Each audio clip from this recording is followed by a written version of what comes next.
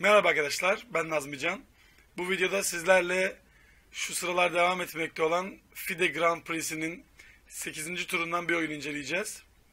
Her ne kadar turnuvanın üst sıralarını zorlayan oyuncuların partisi olmasa da çok sevdiğim bir konuya değiniyor. Satrançta iki zayıflık prensibine ve oyun sonu tekniğine. Birazdan göreceğimiz parti daha biteli o kadar uzun zaman olmadı. Jon Ludwig Hammer ve Pavel Endyanov arasında oynandı. Jon Ludwig Hammer, dünya şampiyonu Magnus Carlsen'in memleketinden, Norveç'ten bir büyük usta. Hatta Carlsen'le aynı dönemde yükselişe geçen bir sporcu fakat Carlsen tabii bütün beklentileri aşarak e, çok büyük bir yükseliş gösterdi. Jon Ludwig Hammer da çok yetenekli ve önemli bir büyük usta. Kendisi 2700'lere yaklaşmış bir oyuncu. Şu anki reytingi 2600 sanıyorum 30 civarında ancak e, çok güçlü bir büyük usta. Rakibi Ukraynalı Pavel Elyanov ise son bir yılda ciddi çıkış gösterdi. 2750'nin üzerine geçti bildiğim kadarıyla. Çok önemli bir başarı elde etti. Aynı şekilde Ivanchuk'la birlikte Ukrayna'nın önemli süper büyük ustaları arasında kendisi. Beyaz taşlarla Jon Ludwig Hammer oynuyor. Siyah taşlarla Pavel Elyanov. D4 oynayarak oyuna başlıyor Hammer ve açılış 3 hamlenin ardından Vezir Hint savunması olarak isimlendiriliyor. Ve rakibinin filini çaprazdan gelişmek istediğini gören beyazlar hemen rakibin filini G2'den fille karşılamayı hedefliyor. Fil B7. Her ne kadar filin en doğal gelişim hamlesi gibi görünse de aslında ana varyant olarak geçen hamle fil A6 hamlesiydi. Uzun yıllar boyunca ve teorisi çok gelişkin fil A6 hamlesinin. Bütün B3, vezir C2, vezir A4 ve hatta vezir B3, at D2 bütün piyonu koruma yöntemleri oldukça gelişkin teoriye sahip. Ancak belki de bu yüzden oyuncular son yıllarda fil B7 doğal hamlesine geri dönmeye başladılar. Fil G2. Ben de partiyi gösterirken yalnızca bu senede oynanmış e, üst düzeyde iki partinin daha sözünü edeceğim. Bu varyantın popülerliğiyle ilgili fikir verebilir. File 7. Elbette burada farklı farklı hamleler mevcut. Örneğin fil B4'ten şah çekmek bambaşka bir hikaye. Ancak açılışın bu bölümüne çok değinmiyorum. Sadece kısaca siyahların şu anda beyaz kare stratejisi izlediğini ve E4 karesini ciddi şekilde kontrol etmeye çalıştığını görüyoruz. Ve D5 karesini. Ve birkaç hamle içerisinde iki tarafında planları şekillenecek. Hafif taşlar oyuna girdikçe. Beyazlar da aynı şekilde gelişime devam ediyor ve burada e, B1'deki atın gelişimini erteleyen kaleye bir hamlesinin de e, önemli bir hamle olduğunu söyleyelim. Ancak tabii ki at C3 açıkça ana varyant. Ve at E4. Çünkü beyazlar E4 üzerindeki kontrolünü arttırmak istiyor. Örneğin vezir C2 gibi bir hamleyle E4 karesi üzerindeki kontrolünü. Bu yüzden beyaz kare stratejisine devam eden siyahlar rakibin E4 sürüşünü at E4 hamlesiyle kesiyor. Fil D2. Burada vezir C2 de e, oldukça önemli bir diğer varyant. E4 karesine doğrudan saldırıyor. Ancak fil D2 varyantında gördüğümüz gibi beyazlar bu varyantta fil rakibe vermeyi göze alarak merkezdeki kontrolünü arttırmayı umuyor. Fil F6 hemen filini etkili çapraza getiriyor. D4 karesine baskı uyguluyor siyah oyuncu. Ve hala gördüğünüz gibi e, Vezir Hint savunmasında çok sık karşılaşılan bir biçimde merkez piyonlarını merkeze yerleştirmekten imtina ediyor siyahlar.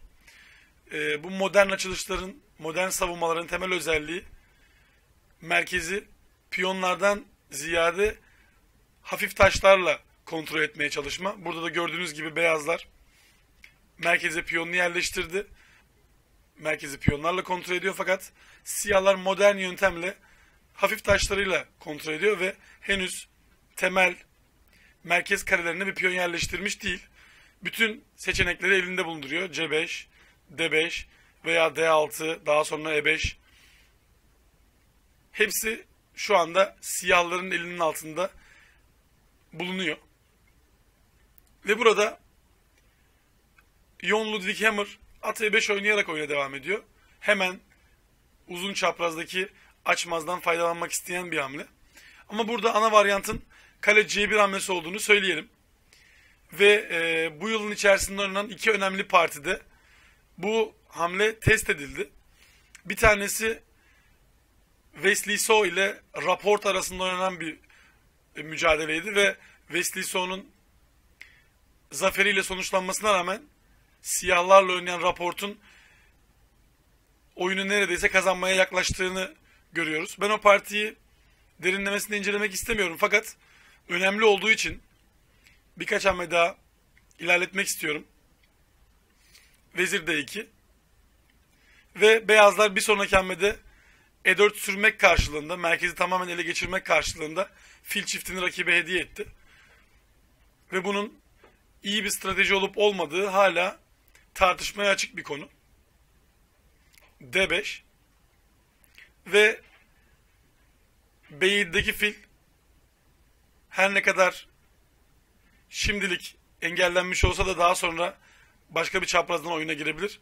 Fakat beyazlar vezir kanadından kazandığı bu alanla kendisi vezir kanadından oynayabilir. Ancak bu partide Wesley So E4'ün ardından şah kanadından oynamaya çalışıyor daha sonrasında. Birkaç hamle daha ilerletecek olursak siyah C5 karesine gitmeye çalışıyor. Beyazlar aynı şekilde siyahın fil gibi kötüleşmiş filini H3 C8 çaprazında etkinleştirmeye çalışıyor. Ve siyahlar da aynı şekilde kötü filine, filinden kurtulmaya çalışıyor. Her ne kadar teorik olarak bu fil e, iyi fili olsa da siyahların bu zincire çarptığı için en kısa zamanda rakibin fili değiştirilmeli. Ve bu oyun e, şu anda yüksek ihtimalle siyahların birkaç hamle içerisinde yapacağı önemli e, beyazın G4 hamlesinde karşı hazırladığı önemli H5 hamlesiyle eşit bir pozisyonla ilerlediğini söyleyebiliriz bu konumdan sonra. Bu hamle çok önemli çünkü beyazlar G4 istiyordu ve belki de bu partiyle birlikte beyazın şah kanadı saldırısının o kadar etkili e, olmayacağını söyleyebiliriz. Bu partiyi meraklısına e, bırakırken diğer önemli partiye geçmek istiyorum. Diğer önemli partide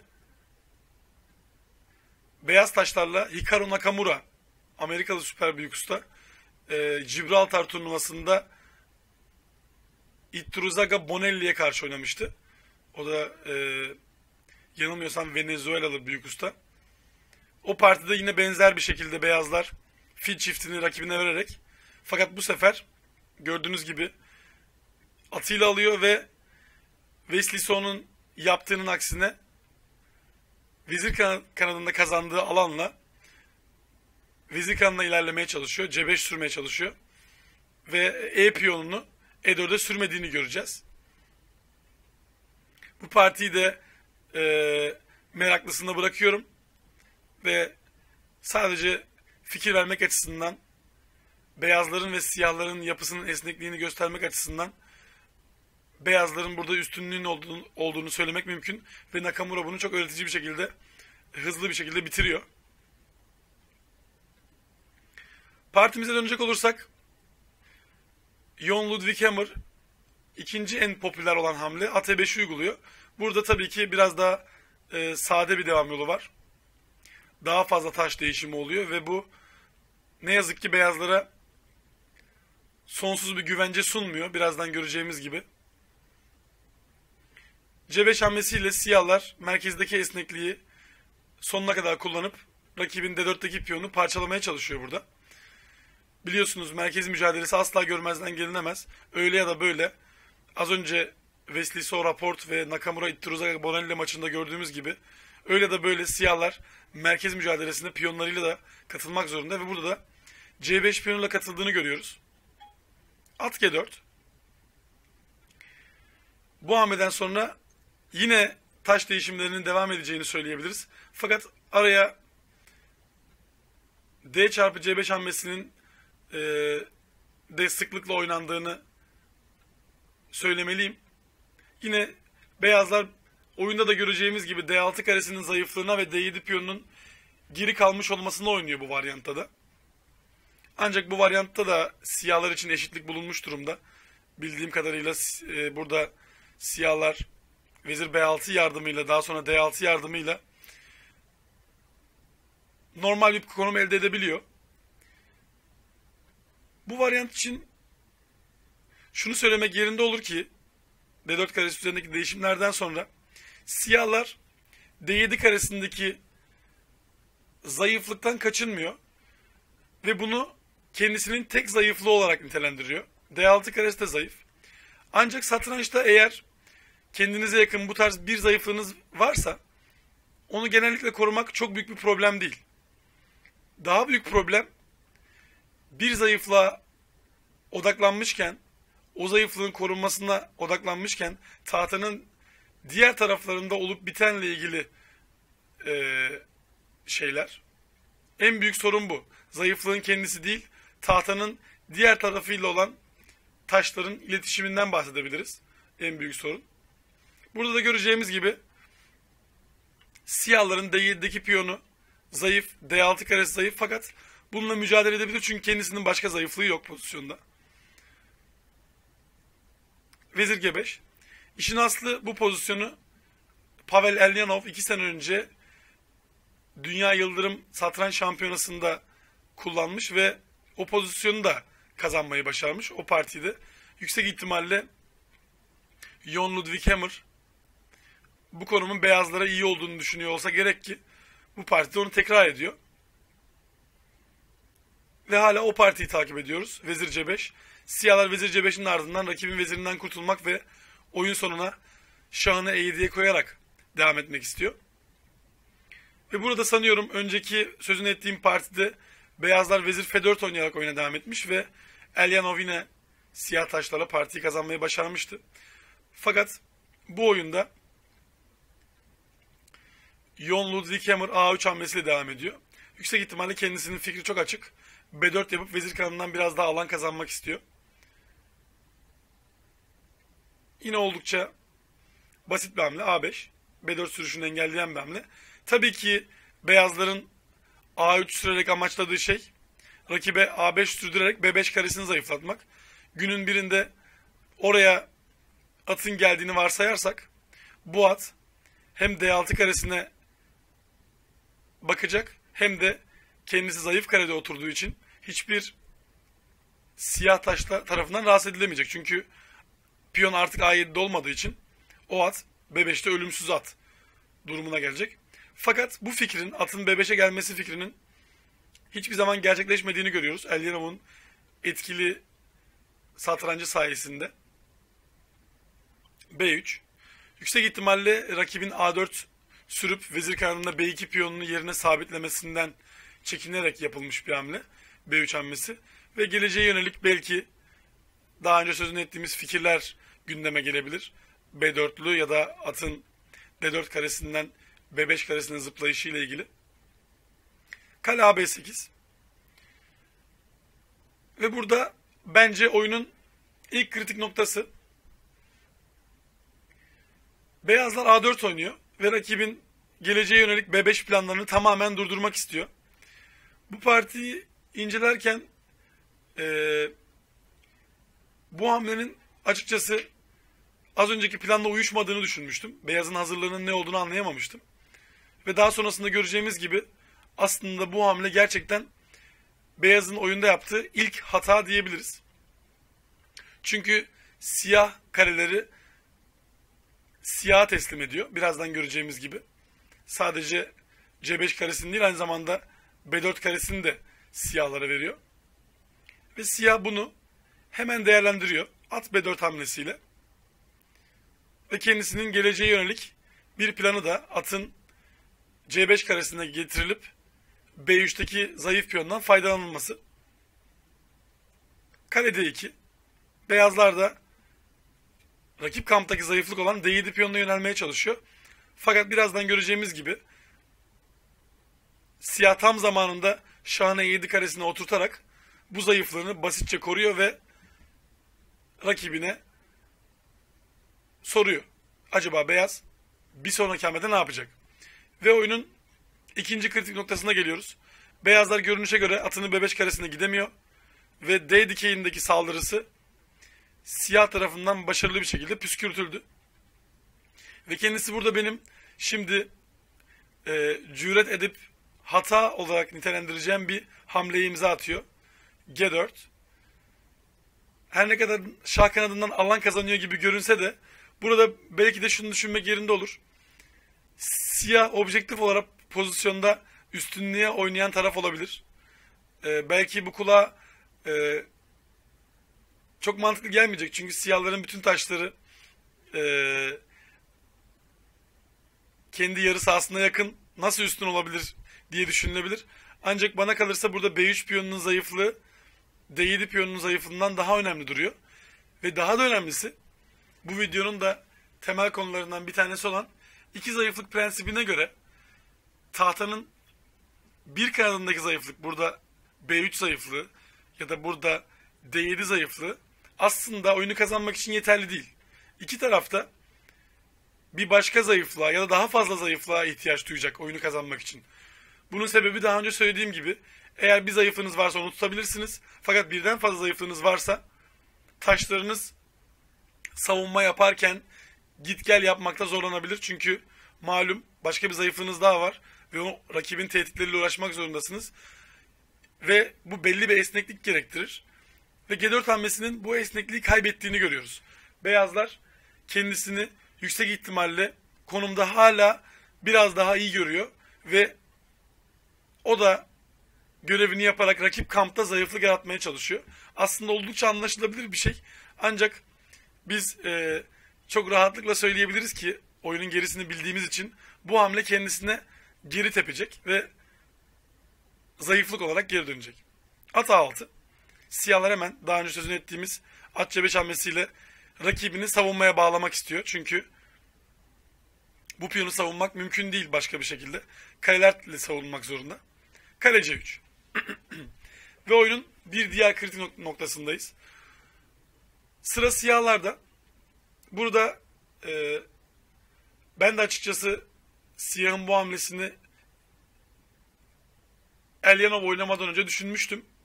Elimden geldiğince acaba siyahlar nasıl e, rakip kampta başka bir zayıflık yaratmaya çalışabilir? Çünkü B3 piyonu zayıf ama kazanmak için yeterli değil. Rakibimiz savunuyor. Acaba başka ne yapabiliriz diye düşündüm. Siz de kendinizi siyahların yerine koyarak burada acaba ne oynaması gerektiğini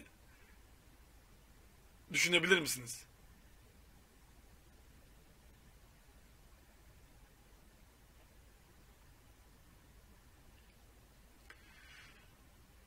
Açıkçası biraz daha önce ipucu vermiş oldum G4 hamlesinin kötü bir hamle olduğunu söyleyerek. Fakat bu hamlenin nasıl bir zayıflığa sebep olacağı hiç de açık değil işin aslı. Ve sıradaki hamle de bunu hemen açıklamıyor. Siyahlar burada H5 oynuyor.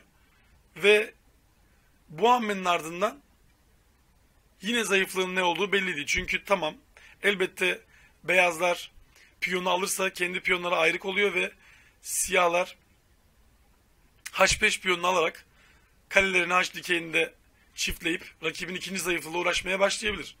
Ancak beyazlar o piyonu yemek zorunda değil. Ve kendisi H3 oynamış. Açıkçası burada satrançta iki zayıflık prensibiyle ilgili bilinmesi gereken e, ikinci şeyi söylemek istiyorum. İkinci zayıflıktan kastedilen şey ikinci bir piyon zayıflığı, ikinci bir kale zayıflığı değildir. Burada gördüğümüz gibi zayıflayan şey şah. İkinci zayıflık burada şah olarak karşımıza çıkıyor. Ve birazdan göreceğimiz gibi eğer siyah rakibinin etkili kalesini alabilirse C3'te kalan kale onun geride kalan aktif kalesiyle baş edemeyecek. Oldukça e, zor bir konsept bu satranç için. Çünkü dediğim gibi zayıflık yaratılacak dedik ama bir piyon zayıflığı yaratamadık. Fakat şahın zayıflığının neye yol açacağını göreceğiz şimdi. Kale 8 çok güzel bir hamle. Hala şu an belli değil e, neler oldu. F3 Kale C8 Siyahlar gelecek için yatırım yapıyor ve kalesini yüksek ihtimalle C6'dan ve daha sonra az önceki senaryoyu kafamızı canlandırırsak bu kaleyle bu kalenin değişimi ardından 6. yataydan oyuna girmek istiyor. At C2 ve belki günün birinde at B5 karesinde gidebilir düşüncesiyle yapılmış bir hamle. Ancak hiçbir zaman hayat bulmadı bu fikir ve siyahlar bunu yine engellemeyi başaracak. Eğer at buraya ulaşırsa yüksek ihtimalle beyazın hiçbir sorunu yok yine. Ancak tam zamanlı oyunla siyahlar bunu engelliyor ve rakibin ikinci zayıflığına yöneliyor. Şah zayıflığı şimdi kale h8 ile değerlendirilmek isteniyor. Beyaz bununla nasıl başa çıkabilir tam olarak bilmiyorum oyunda oynadığının aksine. Belki kaleleri ayakta tutarak, oyunda tutarak da savunmaya çalışabilir şahını. Ama oyunda oynanan hamleleri çok doğal görünüyor. O yüzden kale h1 hamlesini yadırgamak mümkün değil. Kale h1, şah h1 ve şimdi ortaya çıkıyor ki zayıflayan şahtan az önce kale h1 hamlesi olmasa zayıflayan şahtan faydalanma fikri siyahın yapılacaklar listesinde bulunan rakibin aktif karesinin değişme planına hizmet ettiği için başarılı. Kale h1, kale h1, şah h1 ve şimdi tekrar siyahlar ilk zayıflığa geri dönüyor. Ve artık beyaz için günler sayılı. Çünkü dediğim gibi tahtanın iki tarafıyla uğraşmakta zorlanan beyazlar aktif taşını vermek zorunda kaldı rakibine. Ve siyahın çok basit piyon alma tehdidine karşı neredeyse yapacak hiçbir şey yok ya da ikinci yataydan. Kendisinin at d4 fikri artık çok geç kaldı çünkü e, kaleyi içeri girerek bu fikri sonuçlandırabilir. Ve B3 piyonunu korumanın tek yolu atı tekrar D4 karesine dönmek fakat o at orada kalıcı olmayacak. Birazdan da göreceğimiz gibi. Oyunun bu kısmını biraz ilerletiyorum çünkü fikirleri hemen hemen söyledim. Ve siyahlar basitçe oyunu kazanmak istiyor kare B1 hamlesinin ardından. B4 oynuyor Jon Ludwig Hammer. Anlaşılabilir bir fikir. Başka savunma düşünmek mümkün değil. Belki at D4'e koymaya çalışabilir dediğim gibi. Ee, rakip kalesinin B1'e geldiği zaman. Fakat oradaki at kalıcı olmayacak ve siyahlar E5 hamlesini hazırlayarak o attan kurtulmaya çalışacak ve B piyonunu düşürmeye çalışacak. Bu yüzden Hammer B4 oynuyor. Fakat bu sefer de gördüğünüz gibi piyonlar birbirinden ayrıldı ve siyahlar için açık hedef haline geliyorlar. Kale A1, at D3 ve siyahlar etkili oyunu sayesinde bir piyon kazanmayı başardı ve şimdi ikinci e, konuya geliyoruz. Oyun sonu tekniği. Kale finalleri beraberedir demiş Taraş. Fakat e, Taraş'ın bu söylediğinin geçerli olmadığı bir pozisyon. Çünkü siyahlar birazdan göreceğimiz gibi rakibin zayıf piyonu ve harika piyon yapısı sayesinde çok rahat bir şekilde kazanıyorlar. Ancak bunun yine de nasıl yapıldığını görmek çok öğretici. Pek çok satranççı ben dahil buna piyon fazla kale finallerini kazanç dahi olsa berabere yapmayı ve hatta kaybetmeyi başarabiliyoruz. O yüzden bu tarz konumların incelenmesine özel bir önem atfetmek gerekiyor. Ve bir çalışma yöntemi olarak burada bu tarz pozisyonları oynamayı önereceğim. Ben de kendim antrenman yaparken bu yöntemi çok sık kullanıyorum. Örneğin bu pozisyonu Lichess'in böyle bir olanağı var. Şurada bilmiyorum görünüyor olması lazım. Bu seçenek Practice with Computer seçeneği e, bilgisayarla size maç yapma olanağı sağlıyor. Örneğin burada herhangi bir yapacağınız hamle, diyelim ki beyazlara hamle oynatalım. Siyahlarla yapacağınız herhangi bir hamle bilgisayar tarafından yanıtlanabiliyor. Tabii ben e, yanlış zamanda bastığım için. Kısaca bunu söyleyebiliriz. Bilgisayarla oynayabiliyorsunuz bunu.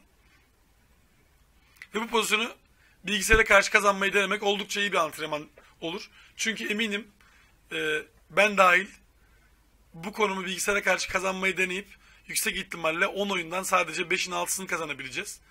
E, belki de daha azını. Çünkü makine biliyorsunuz inanılmaz hesaplama kabiliyeti ve e, bu tarz konumları neredeyse hiç düşünmeden oynayabiliyor biliyorsunuz. Bir işimizi çok zorlaştıracak kısaca. Çok faydalı bir egzersiz yöntemi bu konumu bilgisayara karşı oynamak. Ancak biz meraklısında bunu bırakırken Pavel Elyanov'un nasıl kazandığını görmeye çalışalım. Şah D6. Oyun sonları için oyun sonları için iki tane kural söylemek mümkün. Çok fazla kuralı yok oyun sonunun. İki tane önemli kuralı var. Birincisi, en önemlisi acele etmemek. Ne yapıyorsanız yapın. Yavaş yavaş, sakince yapmak. İkincisi, şahınızı aktif bir şekilde kullanmak, merkezileşmek. Burada Pavel Elenov hemen şahını merkezileşmek ve geçer piyon yaratmaya çalışıyor. Çünkü C piyonunu korumaya ihtiyacı var. Şah C6 karesinde C5 piyonunu koruyacak ve D5 sürmeye çalışacak. Kale C1. Beyazlar aslında hemen karşı oyun hazırlıyor. Eğer siyahlar az önce söylediğim birinci kuralı çiğneyip acele ederse planında şah C6 oynayıp beyaz için hemen karşı oyunu olanağı doğuyor. Ve G, G piyonu birdenbire karşı saldırı unsuru haline gelecek. Karşı saldırı e, taşı haline gelecek. Her ne kadar C4 piyonu boşta olsa da. Ve Elyanov klasik satrancı çok iyi bilen bir süper bir usta olarak acele etmeden yavaşça konumunu geliştirmeye devam ediyor. G5. Şah kararındaki hedefleri hemen uygun karelere yerleştirerek saldırılamaz hale getiriyor. Şimdi örneğin kale H1 gelinirse etkisi yok. Çünkü siyahlar basitçe piyonunu koruyabiliyor. G5 hamlesi sayesinde. Şah E4. Beyazlar kalede bir oynayıp şahın içeri girmek istiyor. Ve şah kanadında oluşmuş zayıflıkları yok etmeye çalışıyor. Ancak Elyanov yine fikrinde acele etmiyor. Çünkü rakibin tehdidi var. F6. Birinci kurala devam. Acele etmiyor. Ve kendisinin yine fikri aynı. Şah C6 ve D5 yapmak istiyor. Beyaz bir şey yapmak durumunda. F4. Tekrar şah kanadına zayıflık yaratmaya çalışıyor. Daha sonra G piyonunu zayıflatıp kalesiyle belki almaya çalışacak. Ve şimdi tekrar siyahları acele etmezken görüyoruz. Şah E7. Yine F6 piyonuna yakın duruyor. Çünkü Şah C6'ya giderse yine F piyonunun saldırıya açık olduğunu göreceğiz. Beyaz kare tarafından. Şah E7 ve kendisinin bu sefer D5 tehdidi var. Burada acele etmemekten kastın ne olduğu umuyorum anlaşılıyordur. Beyazlar rakibin planını engellemek isterken kendisi bu sefer yeni tehditlere açık hale geliyor. Buradaki temel tehdit D5 hamlesi. Açmazdan faydalanmak istiyor çünkü siyahlar. Şah F3. Ve şimdi tekrar acele etmiyor. Çünkü D5 hamlesinde bu sefer hazırlıklı beyaz oyuncu alıp kare C5'teki piyonu almak istiyor. Ve siyah tekrar planını yeniden gözden geçirerek acele etmeme kuralına geri dönüyor. Şahını merkezleşmek istiyor. Şah E6 fikriyle. Ve yavaş yavaş siyahların geçer piyon yaratma amacına yaklaştığını görüyoruz. Kendisinin artık bundan sonra durdurulması çok zor. Bu yüzden Hammer hemen kale H6 ile şah kanadında bir girişim başlatmaya çalışıyor. Ancak çok kontrollü bir oyun sayesinde Elyanov tarafından bu püskürtülüyor. Evet fazla yorum yapmadan anlaşılabileceğini düşünüyorum.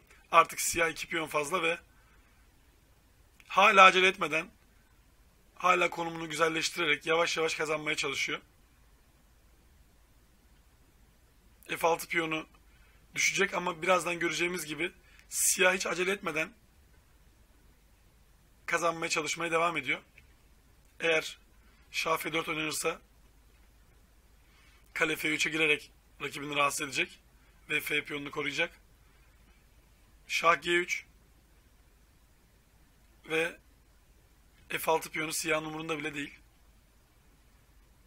Şah 5 ve beyazlar terk etmiş. Ben sadece açıklık açısından biraz daha devam ettirdim. Acaba beyazlar G piyonu sürmeye çalışırsa siyah nasıl tepki verebilir diye. Bir örnek varyant şöyle devam ediyor. Tabii ki kalemiz boşta kalmasın diye kaleyi geri çekmeliyiz. Ama E piyonu düşmek zorunda. Ve bu tip pozisyonlar için tipik bir yöntem. Elbette beyazların e, değişme lüksü yok. Siyahın iyi ilerlemiş 3 tane geçerine karşın beyazın bir tane geçeri var ve siyahın yöntemi piyonları sadece ilerletip kaleyi piyondan çakmak olacak ve ondan sonra bu yaklaşık bir devam yolu dediğim gibi zorunlu değil. Kesinlikle değişebilir hamleler. Ancak bundan sonra eğer e, beyaz kaleyi almaya çalışırsa siyah karesini feda edip şu sözü gerçekleştirebilir. 6. yataya gelmiş iki piyon bir kaleden güçlü olabiliyor. Bir kale değerinde en az. Ve 7. yataya gelmiş bir piyon bir kaleden kesinlikle güçlü. O yüzden siyahlar kazanacaktı burada. Şah 5'in ardından Jon Ludwig Hammer terk etmiş. Oldukça basit ve etkili bir oyun. Siyahın hemen hemen hiçbir yerde kontrolü elinden bırakmadığını görüyoruz. Tabi bunda sağlam bir açılış hazırlığı söz konusu değil. Daha önce incelediğimiz parti gibi. Fakat oluşacak konumlarla ilgili sağlam bilgi ve tecrübe elbette konuşuyor burada. Çünkü Elyanov daha önceki tecrübesini kullanıyor bu pozisyonla ilgili vezir C5'e oturarak kullandığı ve e, daha sonra oyun sonu tekniği ve iki zayıflık yaratma prensibiyle ilgili önemli bir ders veriyor bizlere. Umuyorum hoşunuza gitmiştir bu video. Bu turnuvayı inceleyen bir başka video yapmayı daha düşünüyorum. FIDE Grand Prix'si bir sonraki turda sona erecek ve ilk iki sırayı elde eden oyuncu e, Dünya Şampiyonası adaylar finalinde oynama hakkı kazanacak. Şimdilik görüşmek üzere diyorum. Daha sonraki videolarda tekrar görüşmek üzere. Hoşçakalın.